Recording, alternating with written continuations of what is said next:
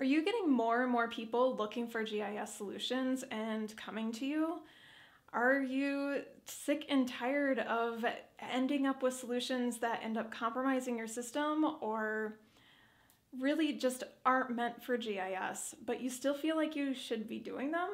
Well, you need to start saying no. There's not a GIS solution for every single problem that's out there because not every single problem deals with location. And even though location is extremely powerful and is does a wonderful things to our data, sometimes it just isn't the answer. So I'm going to give you some questions that you need to be asking when you're approaching new projects and developing your plan to see is GIS really the right solution? So hi everybody, I'm Katie Scheurer and I started Project Spatial to increase your spatial impact.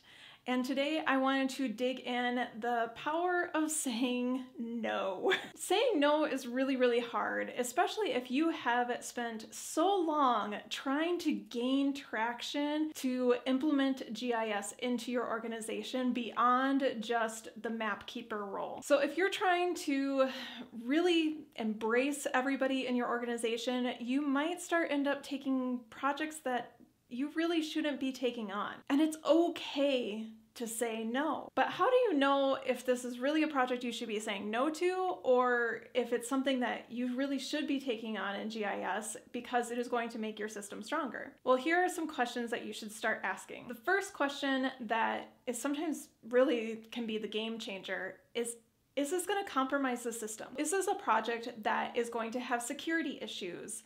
Is it going to open up doors to your system that you haven't thought about before? Are you going to be doing a public application or are you going to be integrating with a new system? Does your data need to be behind a particular firewall?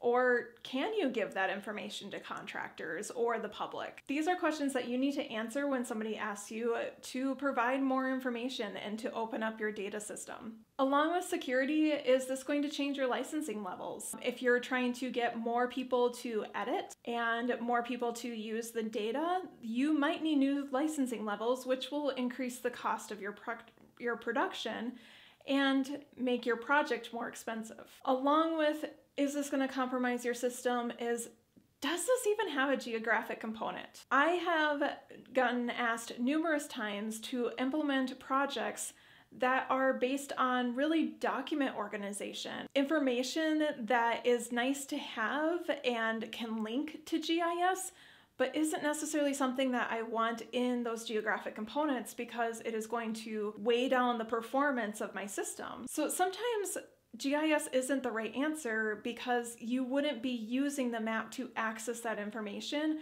or you shouldn't be using your graphical data to store that information.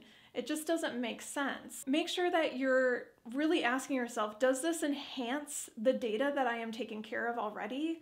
Or can this be used in a different way and just maybe linked up for those one or two times that you need it? The next one to ask is who's going to be impacted by this? Sometimes we'll get a request from one particular department manager and they don't realize that by providing them that solution, I am now adding other tasks to another department because they have to input this information, they have to maintain this information. That can make a big difference in whether or not a project is able to go forward or it's going to fall flat. You need to have all of the people that are going to be impacted by the solution as far as who's going to enter the data, who's going to maintain the data, and who's getting the results in the end. And they all have to be on board with this project, otherwise, it's not going to work because somebody in that flow of information is going to break down and see it as not valuable, and so therefore that project is not going to be sustainable. The other component of that is do you need to add training to this project? Because if you have people that are now taking on new roles or doing something different than they have before,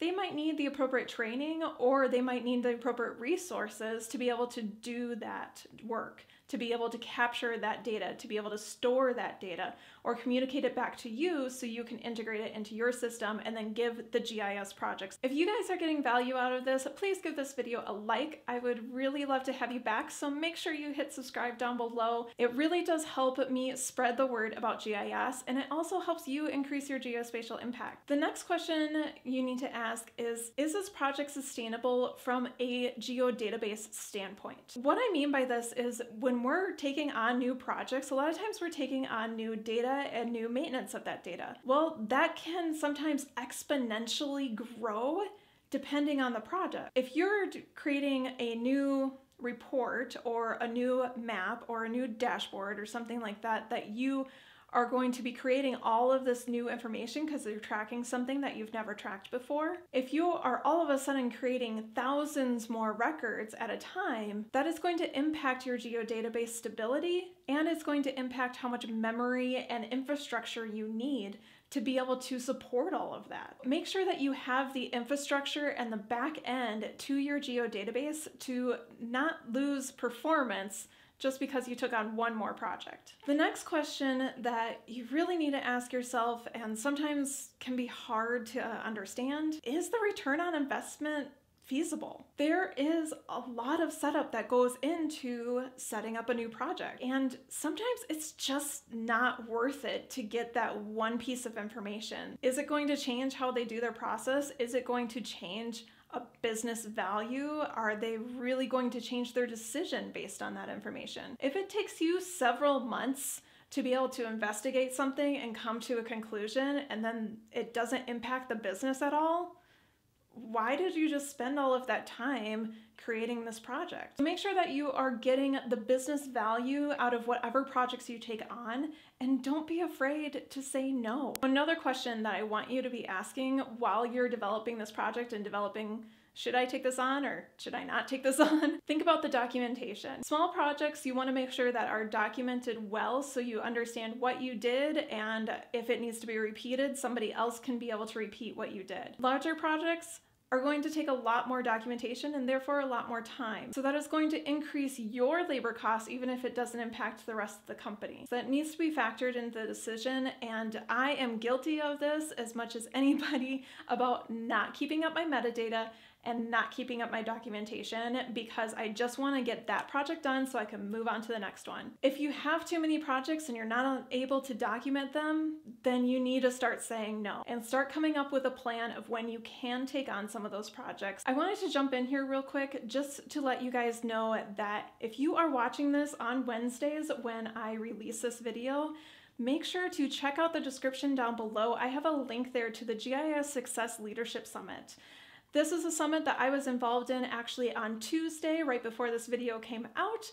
I'm pretty sure you guys can go on there and see the recording of that session if you would like to, but there are a ton of great speakers with this leadership summit and you really should be checking it out. So check out the link below. GIS is a wonderful tool and can be utilized for so many different things eh, for communication of data and impacting workflows and really joining an entire company together. But if you're constantly taking on projects that compromise your system, open up security issues, or just bog everything down because of the amount of data that you're importing, you're not going to have that system working well and people are going to stop relying on it. Make sure every project that you take on is sustainable the people that are need to be involved are involved. You have the infrastructure and the security and the capabilities to take care of it, and it really is going to give you that business value that you are looking for when you're implementing GIS solutions. So I hope all these things help cleared up when you should be saying no and what great projects you really should be focusing on. And I will see you guys soon. Bye.